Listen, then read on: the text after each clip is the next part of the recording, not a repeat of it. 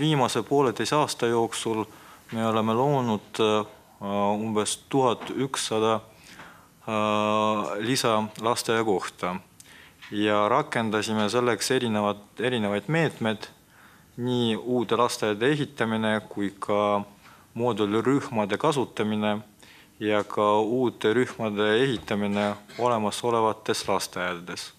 võrdluseks to toome äh, statistika andmed aastast kaks tuhat kaksteist, kui reaalne äh, kohtade puudus oli umbes poolteist tuhat kohta, siis täna selle kuu seisuga äh, reaalne puudus on umbes nelisada nelikümmend kohta.